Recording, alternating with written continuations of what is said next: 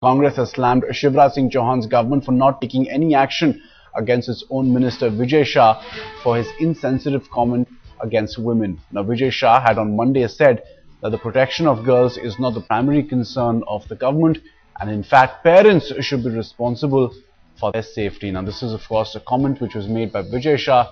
The Congress now putting the Chief Minister in the dock asking Shivraj Singh Chauhan and his government to take action against their leader. और ये मंत्री ने जो जवाब दिया है विजय शाह जी ने उसकी हम निंदा करते हैं।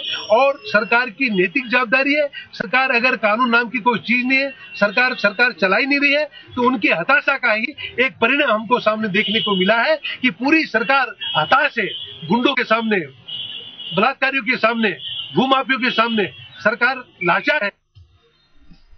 Anup Datta, Today correspondent, now joins us on the phone line for a reaction on this story as well. Anup, it's it's one thing you know, for the politicking to go on, for the Congress to demand action against the leader there. But the fact of the matter is the comment itself was completely unacceptable, putting the onus on, on protecting women and girls on their family and not the government. Yeah, uh, see, for the last almost one and a half years, Madhya Pradesh ministers, they are making such stupid comments, I would say. Because almost three months back when this rape issue was a hot, was very much talked about in the entire country. Then one of the ministers, Minister Kailash Vijayvargiya, he saying that the woman should not cross Lakshman Rekha. Hmm. Now this another minister has jumped into one another controversy that it is not at all our responsibility about the tribal girls who are going to stay in the tribal hostels. This is really a very, very much upsetting uh, comment by a minister. Absolutely upsetting comment come across as Anup points out. Thanks very much for joining us with updates here. We'll continue to track more reactions as they come through from the Shivraj Singh Chauhan government as well. Now let's talk about this. The government is now on an overdrive to bring the much needed changes in rape laws. MP Minister Vijay Shah there has courted controversy with his insensitive remark.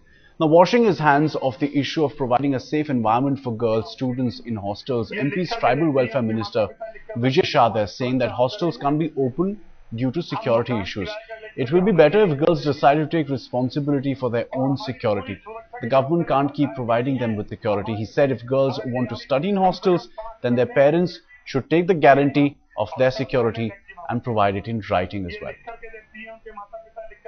कम से कम पांच बहनें minimum और दस बहनें maximum ये लिख करके देती हैं उनके माता पिता लिख कर देते हैं कि हमारी सुरक्षा हम करेंगे हम मकान किराए का लेकर के हम रहेंगे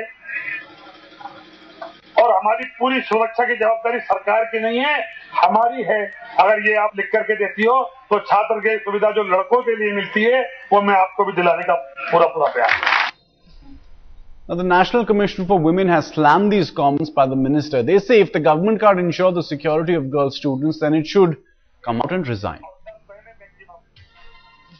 देखिए सरकारों जो सरकारें सुरक्षा नहीं कर सकती उनको त्यागपत्र दे देना चाहिए क्योंकि उनकी ज़िम्मेदारी बनती है, या तो वो ये कह दें कि महिलाएँ वोट करना भी बंद कर दें।